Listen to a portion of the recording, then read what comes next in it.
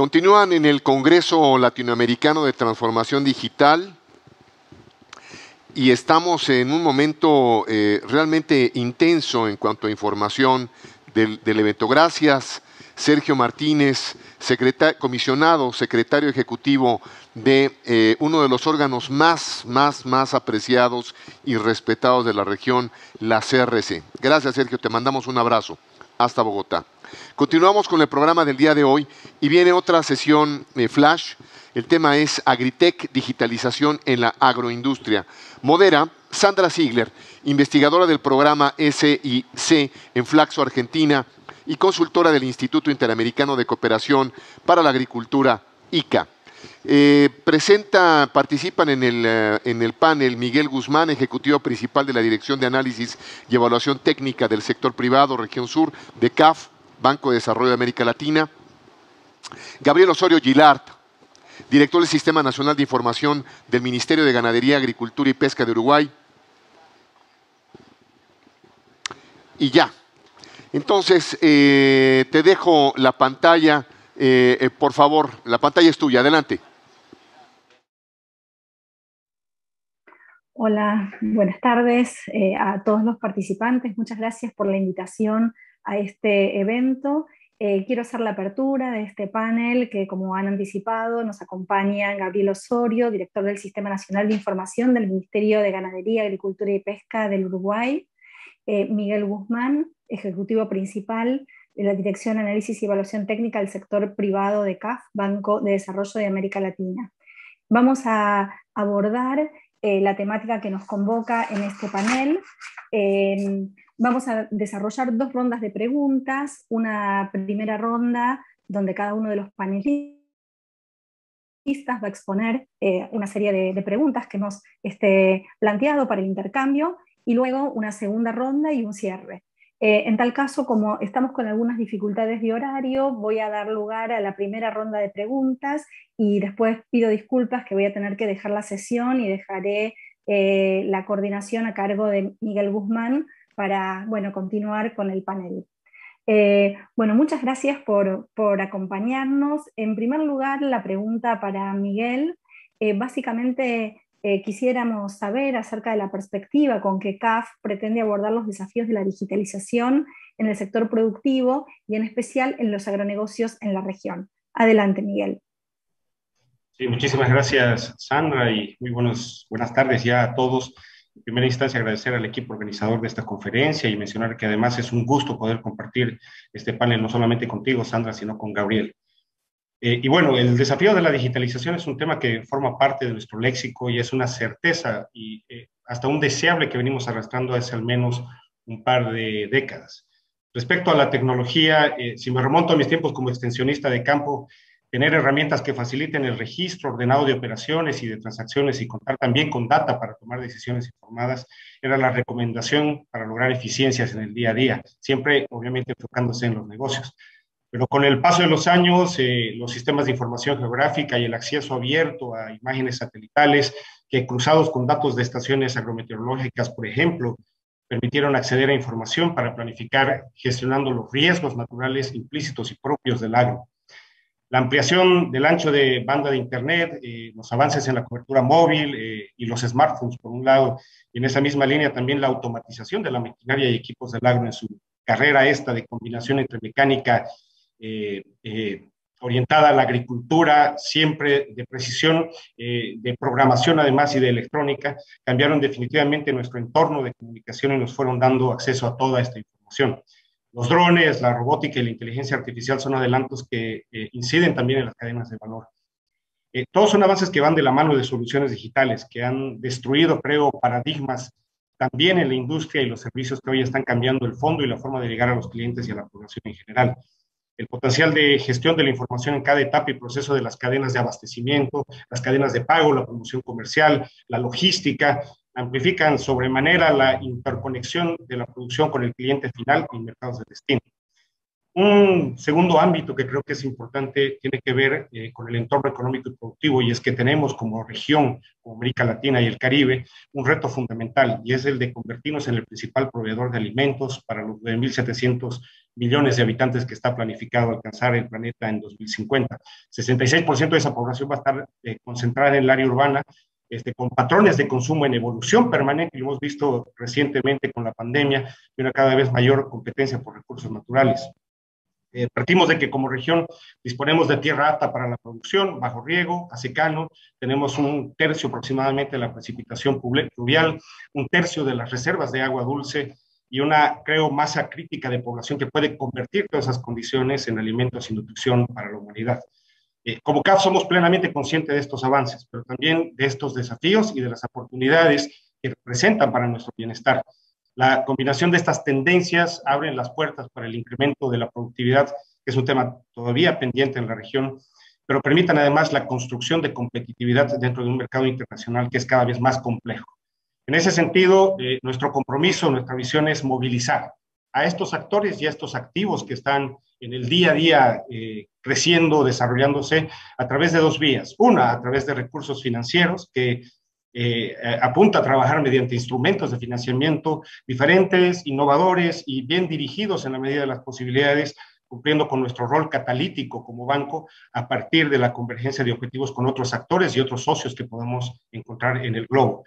Y en segundo ámbito, eh, mediante también el intercambio y el desarrollo de conocimiento para la generación de capacidades en los actores públicos, privados e institucionales. Muchísimas gracias, Miguel. Bueno, una pregunta para dinamizar también un poco el debate con Gabriel. Vamos a ir a una actividad más específica, la actividad pecuaria, para pensar desde ahí los desafíos de la digitalización. Y bueno, sabemos que la trazabilidad individual en la actividad pecuaria es un reto estratégico en este marco para cualquier país productor y en especial para Uruguay, que es uno de los mayores exportadores de carne bovina en el mundo en este momento. Y en este sentido, Gabriel, quería preguntarte cómo han tenido que afrontar los desafíos para apropiar y adaptarse a los avances de la digitalización eh, en, en la experiencia de ustedes, para facilitar todos los procesos en cada uno de los eslabones de la cadena cárnica con el fin de sostener un sistema estable y oportuno. Adelante, Gabriel, y dejo, dejo la, la pregunta y luego eh, el intercambio y la coordinación a cargo de Miguel Guzmán. Muchísimas gracias.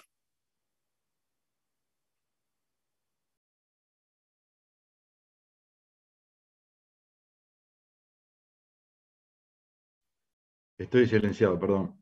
Buenas tardes, para mí es un honor participar en este Congreso Latinoamericano de Transformación Digital.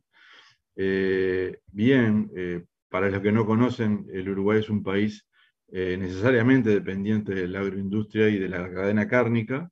Eh, desde nuestra historia hemos prácticamente vivido y nuestro, nuestro principal rubro es, la ganadería y, por supuesto la, carne. Eh, últimamente nuestras exportaciones han sido crecientes y los precios cada vez son mayores y, decimos que esto es gracias a, la incorporación de la tecnificación que, hemos venido realizando en los últimos 15 años, prácticamente con, la incorporación del sistema de trazabilidad individual del bovino, eh, gracias a, un sistema que ya traíamos desde el año 74, o sea, en, un par de años las bases del sistema cumplen 50 años. Este, tratando de garantizar una producción agrosostenible, pensando en el equilibrio de una ganadería basada mayormente sobre pasturas naturales, una rotación reconstructiva de una agricultura que incline la balanza hacia la captura de carbono, eh, y debemos asegurar eh, en un futuro próximo una agricultura y una ganadería que provea alimento a millones de consumidores eh, y lograrlo de forma que no sea no solo sostenible económicamente, sino también que sea respetuosa con el medio ambiente. Eso es este, nuestro paradigma eh, y bueno, y nosotros para, armar un sistema de este tipo que ya tiene 15 años, el, sistema de trazabilidad individual, eh, necesitamos el compromiso del Estado. La gestión y el financiamiento lo, tomó el Estado como líder, eh, luego el compromiso de los actores, los productores y toda la cadena está comprometida desde su inicio. la difusión la capacitación y el soporte son este, importantísimos en esto porque, y fueron importantísimos porque la difusión la tomaron todos los funcionarios del Ministerio de Ganadería. Eh, la capacitación, hoy en día tenemos más de cuatro o cinco cursos por año para productores sobre el tema de trazabilidad individual. Eh, incluso los operadores que son este, el nexo entre el productor y el ministerio. Y luego el soporte. Tenemos un call center, un, un, este, un help desk que atiende llamadas casi la mayor parte del día para, este, para solucionar problemas y, atender a los productores que estén necesitando. De todo es que desde el principio se establecieron normas claras y prácticas y un riguroso plan de fiscalización, o sea, de control y de sancionamiento. O sea, que las normas sean laxas, pero de aplicación rígida.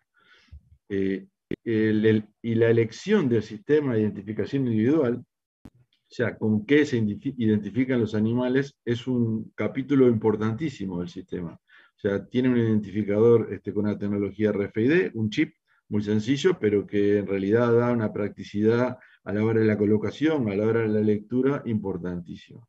El diseño del sistema de tecnología digital que pueda articularse con procedimiento de mejora continua. O sea, en estos 15 años el sistema fue evolucionando y se, le fueron sumando varios capítulos y varias cosas que, se que fueron necesitando eh, eh, objetivos principales para la, para la exportación de carne, como por ejemplo la certificación de faena, la certificación de residuos biológicos, la inocuidad, el bienestar animal, la trazabilidad de campo y de planta, los planes sanitarios, el tema sanitario de brucelosis, garrapata, miasis, todos esos, todos esos este, componentes están incluidos en el plan de trazabilidad, incluyendo un sistema de información geográfica eh, muy importante y muy potente que nos da el lugar físico donde se encuentran todos los establecimientos, que son más de 50.000 en todo el país. Este, bueno, por ahora, eh, si hay alguna otra duda, a las órdenes. Muchísimas gracias, Gabriel. Eh, que eh, aprovechando el, hilo de tus comentarios, eh, te lanzo una consulta. ¿Cuál es el enfoque, cuáles son los desafíos que se vienen discutiendo con respecto a la inclusión de nuevas tecnologías dentro de la cadena? Y esto entendiendo de que no solamente es el sistema de manejo de información a nivel de campo o de eslabón primario, sino que también tiene eh, relacionarse con el nivel industrial y obviamente con todos los actores que siguen en la cadena. Eh, gracias, Miguel. Este, el principal desafío sería, eh, para decirlo rápido y, este, pronto, sería tratar de que se termine el, los documentos papel. Este, el sistema se basó en, una, en una tecnología de digitalización del papel, o sea, de escáner, de, se escaneaban todos los documentos, tenían un formato, o tienen mucho, hoy todavía muchos de ellos, un formato digital que se escanea, y hoy estamos este, intentando eh, de a poco hacerlo desaparecer. De esa forma nosotros llegaríamos a la digitalización total. Por ejemplo, todos los años el productor tiene que hacer una declaración jurada que es una, fortaleza importante del sistema, este, al 30 de junio. Con eso tenemos los datos de todo el stock nacional y esos datos este, originariamente se hacían en formato papel. Hoy por hoy el, el 85% de los productores lo realizan en formato electrónico, lo que hace que rápidamente en 20 días podamos tener el stock nacional y tener los datos desagregados de forma tal que podamos utilizarlo, utilizar para trabajar la Big Data y para poder este, realizar políticas públicas agropecuarias o pecuarias, para poder este, trabajar y, pensar en el futuro próximo este, de, cómo, de, qué, de qué tipo de producción podemos, podemos realizar o, qué tipo de soluciones hay que implementar. Eh, ese es uno de los, de los de las, digamos, de, lo que estamos pensando para el futuro del sistema. Y después familiarizarse con determinados conceptos eh, de observatorios digitales, smart farming, o sea, generar eh, campos de prueba para toda la, generación de, tecnología nueva que hay para, para este tipo de actividades, a los efectos de que nosotros podamos este, incorporarla en el sistema, ¿no? Excelente, muchas gracias, eh, Gabriel. Quizá eh, ahí eh, complementar con algunas iniciativas que nosotros como CAF estamos llevando adelante en la región.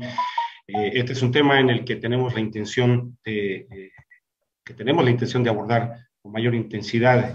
Y aquí eh, Miguel, te quedan dos minutos, por favor.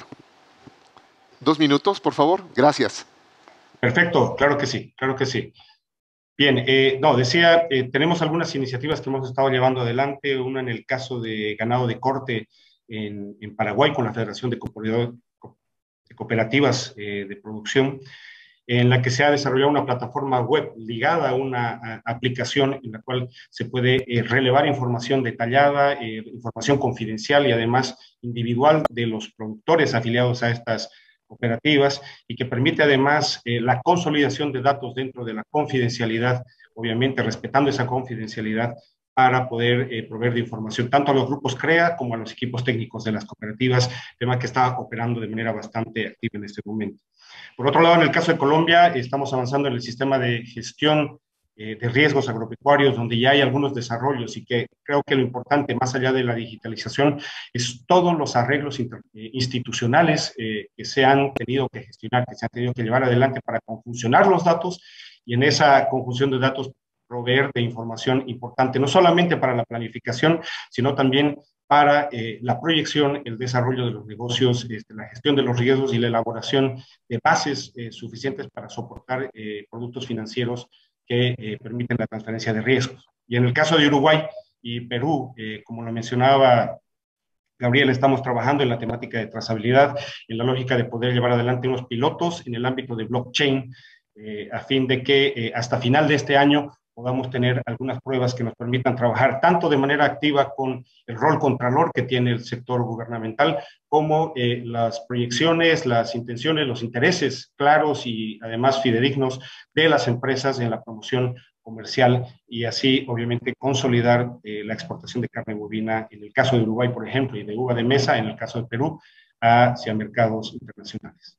Creo que con esto redondeamos un poco las ideas, eh, estamos en el tiempo.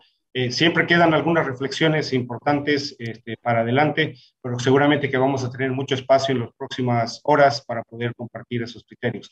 Te agradezco, Gabriel, de verdad, es un gusto y bueno, bienvenidos a todos.